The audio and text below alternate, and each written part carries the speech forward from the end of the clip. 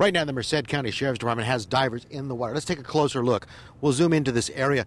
Now, this is about a mile uh, south of the Zacharias Delta Mendota Canal where they first searched and where they brought out five different vehicles, stolen vehicles, but of course none of them matching the Toyota Corolla that Jose Rodriguez was driving and apparently or allegedly had um, uh, young Juliani Cardenas in that car with him.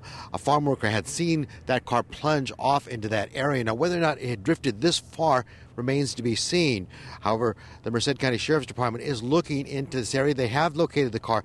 Their first attempt to bring the car out failed, so they have put a diver back in there along with a grappling hook to try and find that car to hook it up and then bring it out with a tow truck. So, once they bring that grappling hook and they've got it attached. They'll bring it out with a tow truck. That could take a, a couple of minutes depending upon how secure that operation is. Reporting live in Patterson, Rich Ibarra, KCRA 3 Report.